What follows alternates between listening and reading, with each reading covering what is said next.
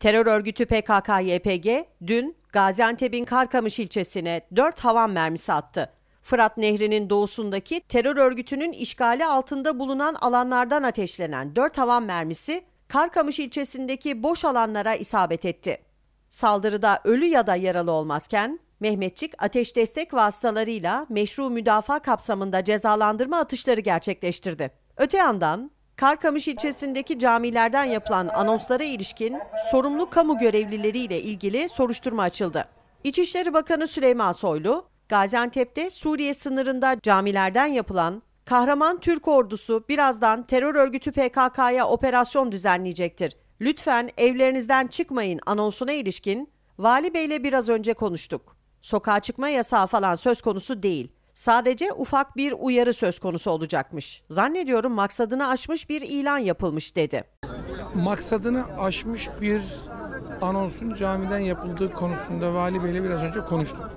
Böyle bir sokağa çıkma yasağı falan söz konusu. Sadece anladığım kadarıyla ufak bir e, uyarı söz konusu olacakmış.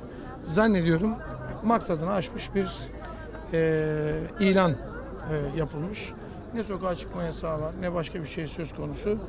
E, yani bu tip işlerde buradaki kamu görevlilerine de ka- kamu görevlilerine de ikazım soğukkanlı olmalarıdır. Belediye başkanı Yani oradaki kamu görevlilerini de tekit ettiğimi söylemek istiyorum. teşekkür ederim. Teşekkür ederim. Efendim, aracı. Gaziantep valisi Davut Gül, Karkamış ilçesindeki camilerde yapılan anonsların maksadını aştığını ve sorumlu kamu görevlileriyle ilgili soruşturma açıldığını bildirdi.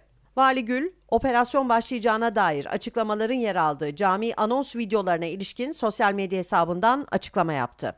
Konunun incelendiğini bildiren Gül, Karkamış'ta camilerde yapılan anonslar maksadını aşmış olup sokağa çıkma yasağı gibi bir durum olmadığı gibi rutinin dışında bir durumda söz konusu değildir. Sorumlu kamu görevlileriyle ilgili soruşturma açılmıştır dedi.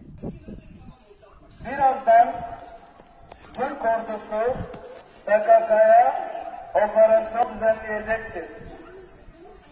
Kimse korkmasın, herkes evinde kalsın, dışarıda gezmesin.